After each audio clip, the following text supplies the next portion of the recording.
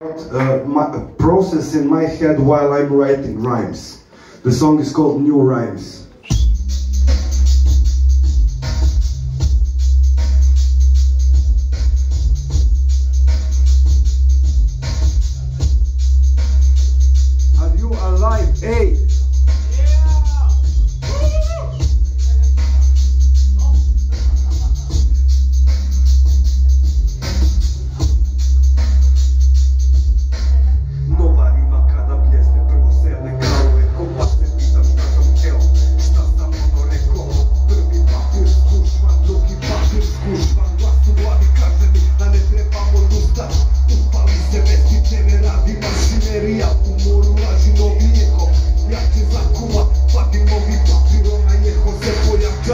formal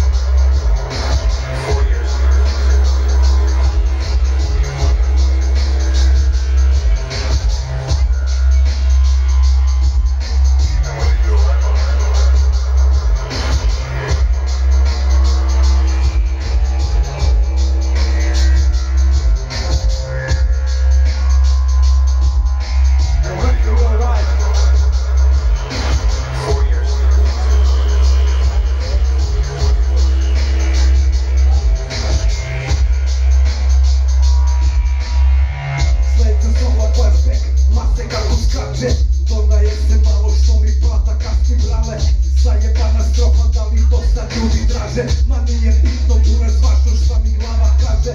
Zapadam u mraku, da potražim za jeho Pa se posle setim na priznaju šta sam rekao. Nema glupost, nije, mine mi je kraj. Utoke su sranje, nemam kola, vozim bajs.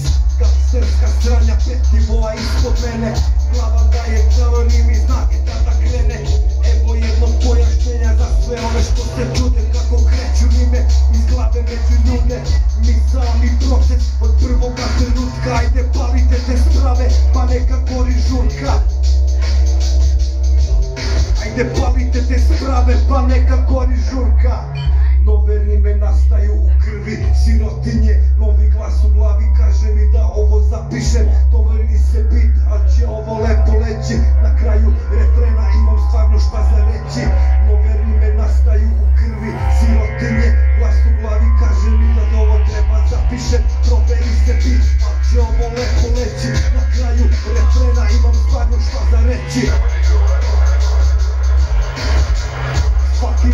from the chef to the crowd. It's a song about drugs from my head to the crowd.